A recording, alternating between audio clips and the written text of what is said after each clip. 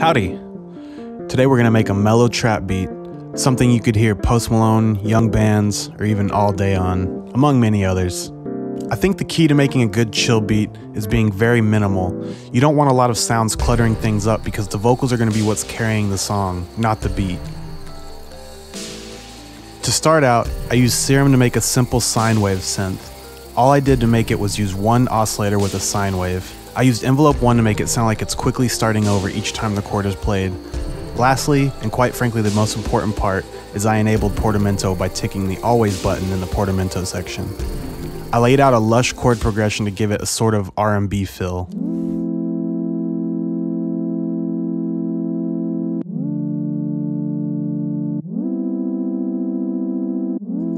Seeing as the synth is a little heavy on the low end, I made sure to cut a lot of it out so that the other sounds have room to breathe down there.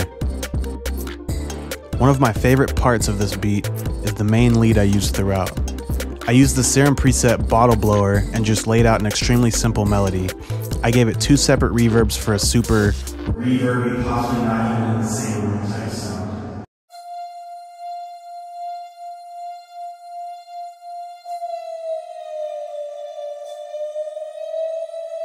The first sound used in the verse is a preset in Serum called Mute Bass Guitar.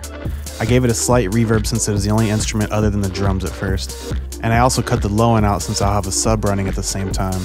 I change up the pattern throughout the song depending on what part we're at. For the verses, I kept it simple.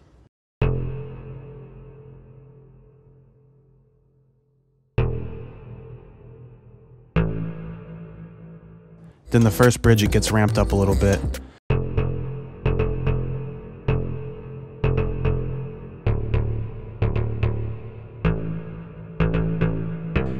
And finally, the chorus is essentially the same as the bridge, just with some parts cut out.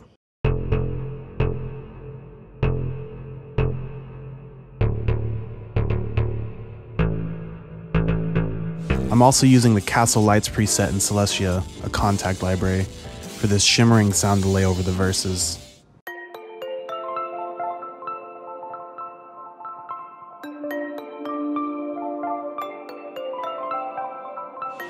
For the first bridge and chorus, I'm using an 80s lead made in Massive at a really low octave to follow along with the chords.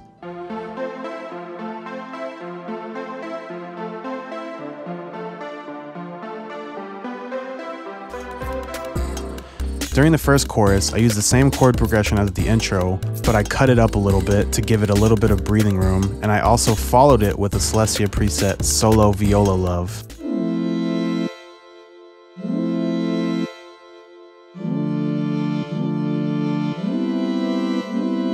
Last but not least, for the second bridge, I decided to change things up a bit and throw in a smooth pipe harp from Celestia to keep the beat since we don't actually have any drums during this part.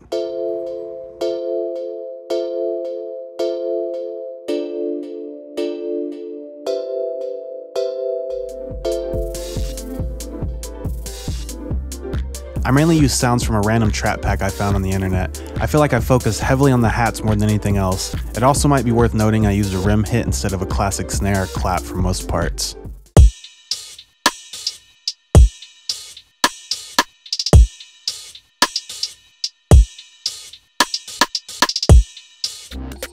For the bass, I used a big white Beats 808. It was in the key B, so I made sure to change the root note.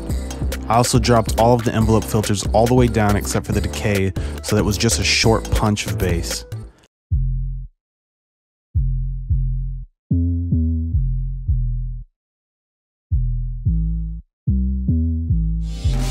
I also have an alternate version that isn't just a short punch that I used for the chorus. The only thing that is different here is that the decay is down and the hold is all the way up.